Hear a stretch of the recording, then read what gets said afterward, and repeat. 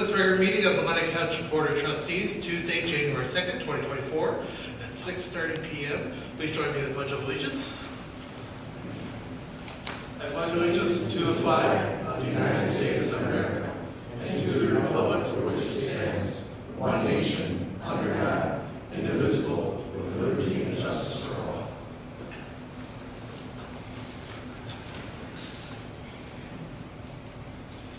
Approval of meeting agenda.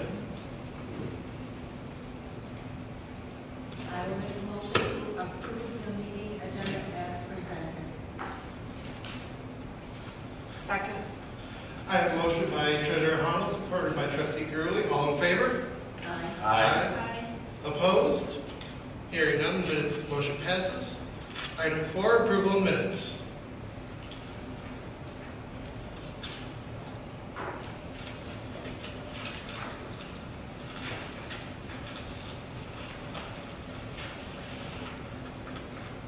Motion to approve the minutes of the December 20, 2023 regular board meeting as presented. Second. I have a motion by Treasurer Honor, supported by Trustee Gurley. All in favor? Aye. Aye. Opposed? Hearing none, the motion passes. Public announcements. Public comment.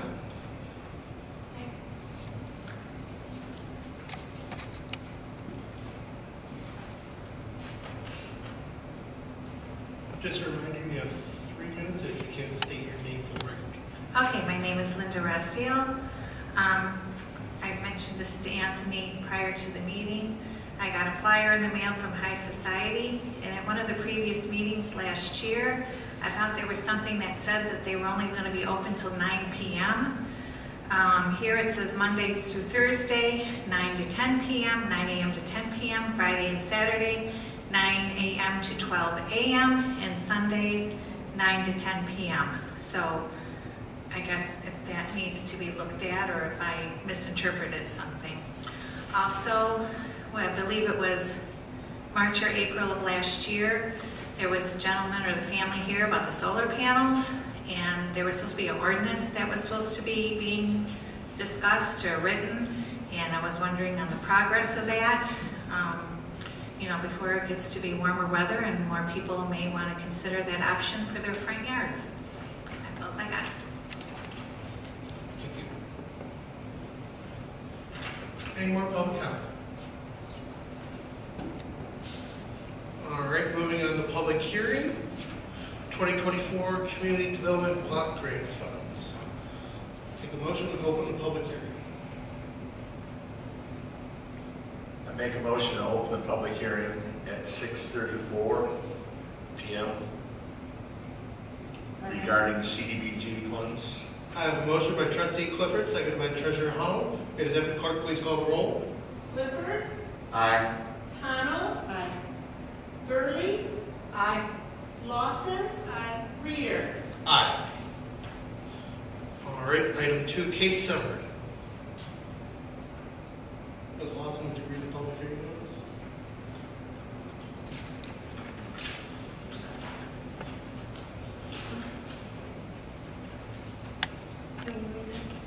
Yes.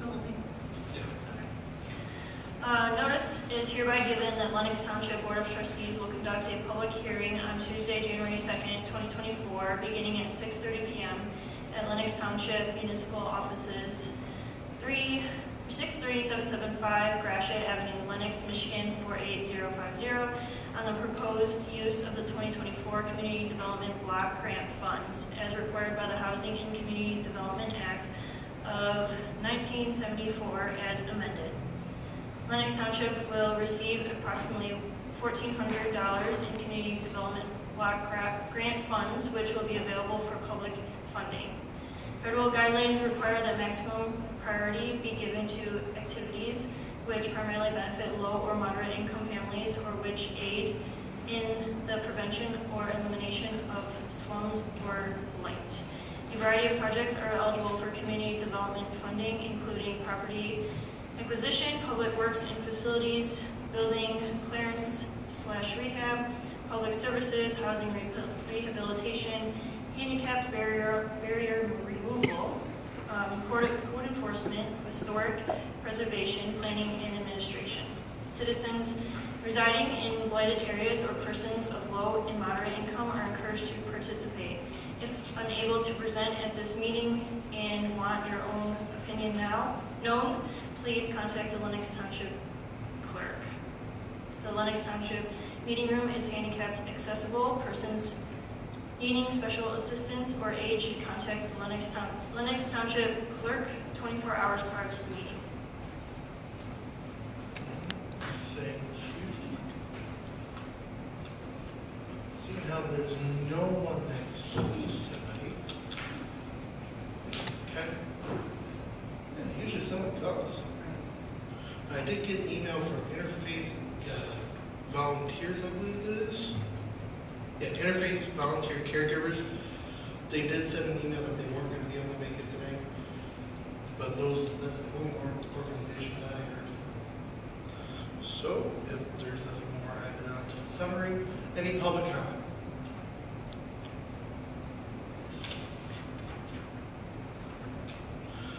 All right, item, item item number four, I'll take a motion to close the public hearing. I make a motion to close the public hearing at seven thirty-seven, or six thirty-seven PM. Roll call. There's not, there hasn't been a second yet. Second. I have a trust, motion by trustee Clifford, seconded by trustee Gurley. Make the deputy clerk please call the roll. Clifford, Aye. Gurley, Aye. Lawson, Aye. Reader, Aye. Connell. Aye. All right, discussion. You got an email, I got something from uh, caregivers, this was a couple of weeks ago, and it kind of closed my mind, I didn't close my mind, but I forgot that it was coming up uh, until I seen the agenda tonight. I, uh, I know we're looking at things for seniors, I know we're looking, you know, uh, it's gotta be brick and mortar though, right? No, it's uh, public services that it's eligible for. Is it? Yes. So see, let's- we gave uh, half to, I believe, was it Care House last year? That's who I got the email from, Care House. Yeah, we gave seven hundred to Care House and seven hundred to the senior center last year. We got, we're getting the same amount this year. Correct.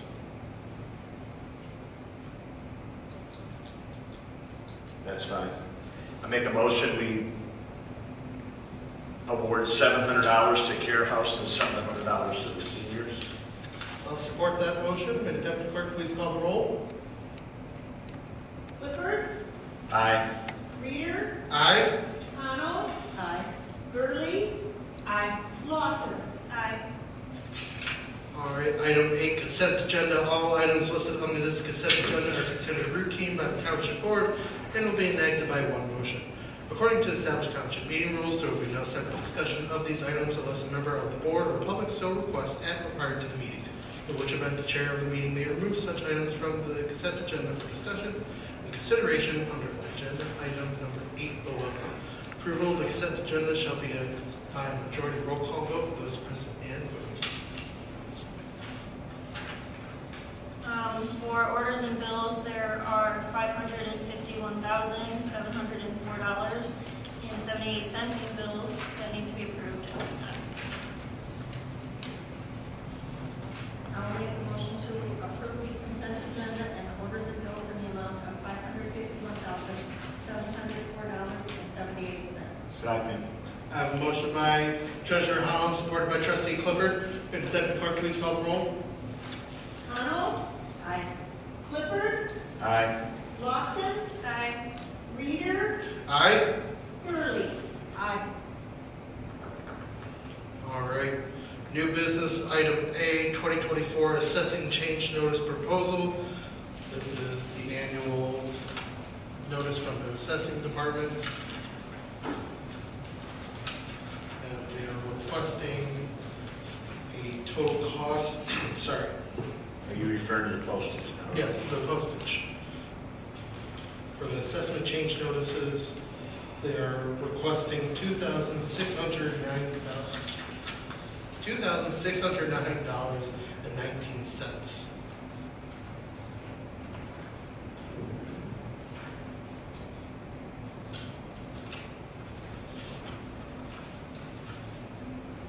through Whitlock. Uh, I believe it's through KCI Communi- Communications. KCI. Okay, I'm sorry. That's what I meant to say, KCI.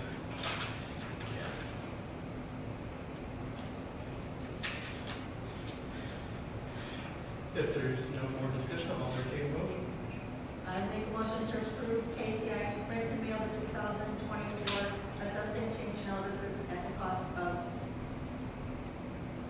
$784.52 plus estimated postage at the cost of $1,824.67, totaling $2,609.19.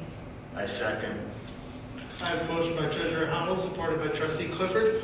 May the Deputy Clerk please call the roll? Kano, Aye. Clifford, Aye. Gurley, Aye. Reader, Aye. Lawson. Aye. All right, item B, 2024 Assessing Poverty Exemption Policy Guidelines and Application. This is once again the standard. Every year we have to approve this. I don't believe it's changed one bit. Well, I think, I think our assessing department would probably be here if it was. I believe you were right on that one. Uh, If there's no I'll entertain a motion.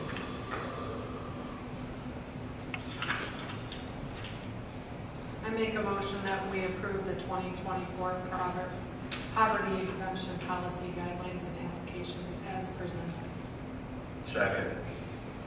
I have a motion by Trustee Gurley, second by Trustee Clifford. May the Deputy Clerk please call the roll? Gurley, Aye. Clifford, Aye. Reader, Aye. Kano, Aye. Lawson. Aye. All right, item C, internal auditor compensation proposal. Ms. Lawson. Good evening. This has been brought forward. Um, We are requesting this evening that this item actually be tabled for 30 days.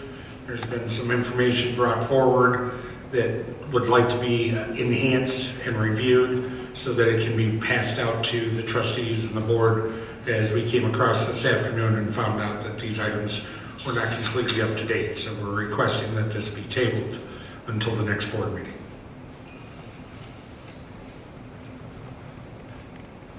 I will motion to table the internal auditor compensation proposal, compensation proposal until the February Board of Trustees meeting in order to gain more information. Second. I have a motion by Clerk Lawson, supported by Treasurer Hamel. May the Deputy Clerk please call the roll? Lawson, Aye. Kano, Aye. Reader, Aye. Gurley, Aye. Clifford. Aye. All right, item D, laptop purchase request. Good evening, Board. This is being brought forward this evening, enhancing and helping out the Clerk's Department this evening. The Election Department has been identified that it needs to buy eight election laptops. We're actually running a little bit behind on this process. Um, This has been brought forward.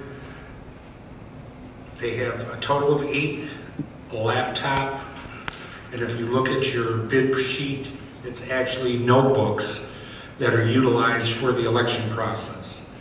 The clerk's department has identified these to be out of date and need to be updated immediately in order to run the four elections that we have this year for the clerk's department. This evening, there's a request coming forward to the board for the purchase of those eight notebooks. These new laptops have longer battery life and are scheduled to last at least 11 and a half hours. We have went out and received a quote back from our preferred vendor, which is High Tech.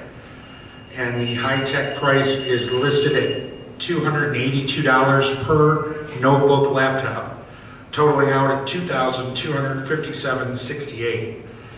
The clerk's department is requesting approval this evening of this so that we can go ahead and get these ordered. We do have the first election in the clerk's department in February, I believe the 22nd. 27. 27th, excuse me. These laptops will be updated throughout the year, and they should maintain for the next two to three years. Guess my question is, is eight enough? I mean, how many, Yeah, Mr. Clifford, what they do is they utilize that So this building and the new community center, this building will have two precincts, that building will have two precincts, was the design that they had laid out for the clerk's department. Your heaviest section will have six laptops here and two laptops at the other building. These are for QVF files, they're able to verify. That should be enough, though. As your question came up, it should be plenty, based upon the clerk's input. With that, I'll bring it back to the board, entertain a motion.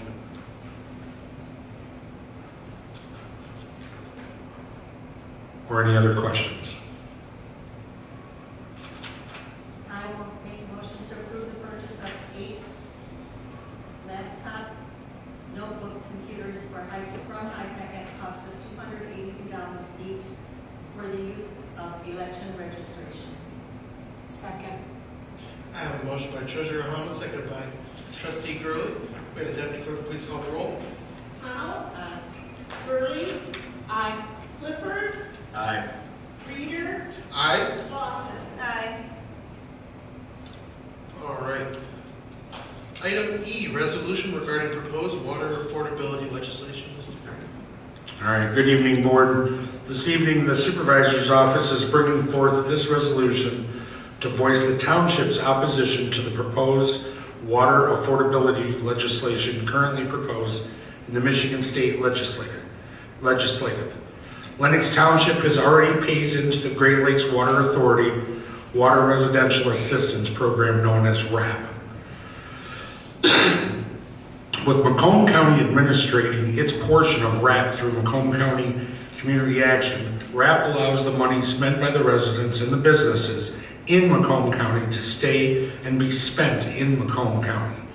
However, these new pieces of legislation introduced into the Michigan House and Senate present a brand new money grab by the state of Michigan charging every water meter in the state an additional $24 per meter, which can be increased up to 36 per meter.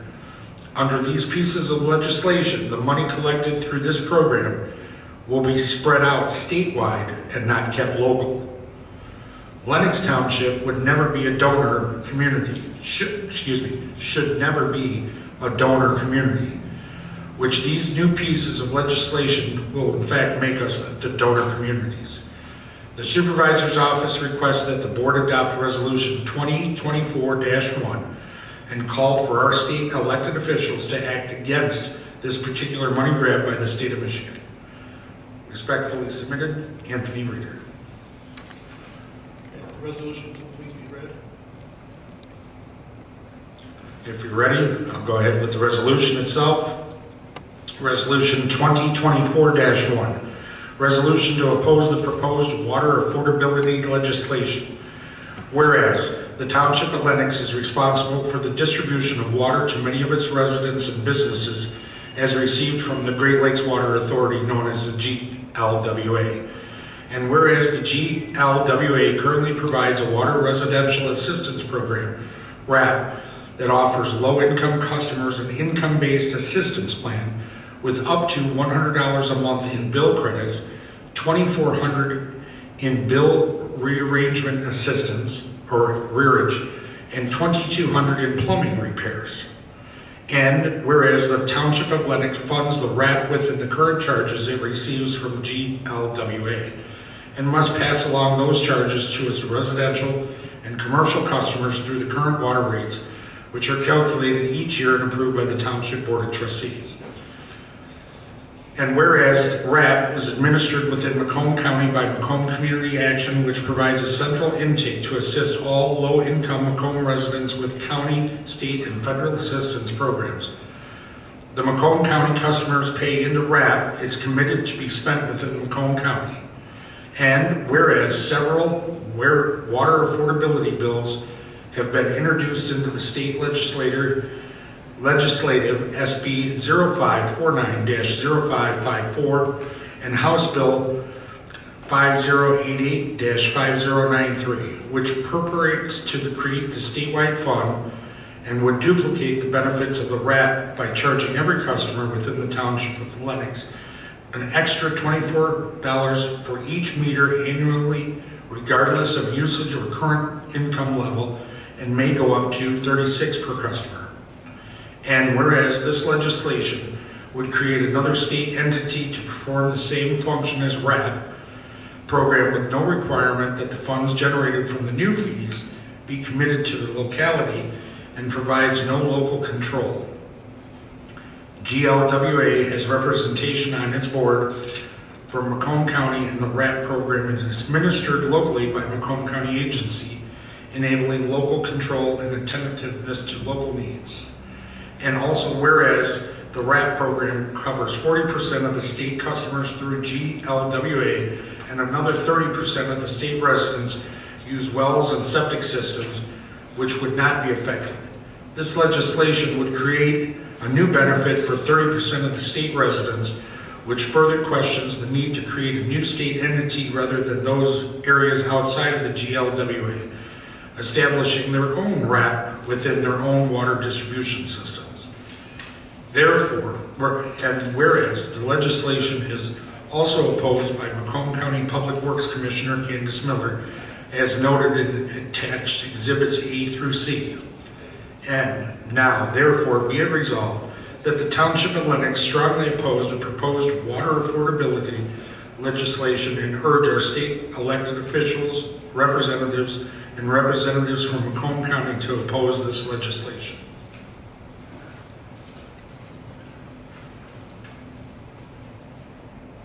Is there any discussion on this matter? If not, then I'll make a motion to adopt resolution twenty twenty-four dash.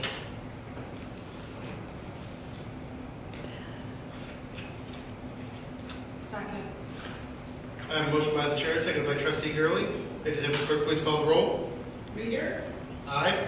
Gurley, Aye. Kano, Lawson, Aye. Clifford. Aye. All right, item F, day-to-day operations organizational chart update.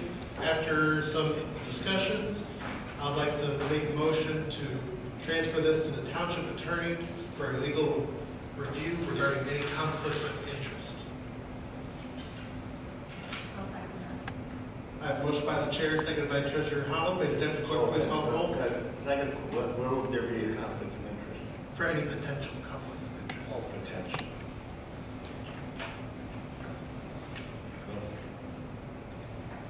Go ahead, I'm sorry. May the deputy clerk please call the roll. Reader, Aye. Kano, Aye. Lawson, Aye. Gurley, Aye. Clifford.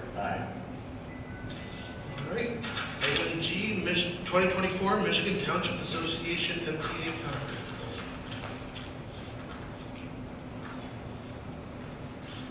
So the rate's the same this year. The early bird is $390. Uh, Has anyone been in contact with Steve to see if you want to go again this year? Well, I think we should probably still at least extend it. Right. Scott and Michelle, you both go? Want to go? Yes. Yeah, I plan on it. There are quite a bit of interesting things on the educational ses- sessions this year. Yeah, they look, they look a lot better than there was some choices last year. They stuffed it this year too.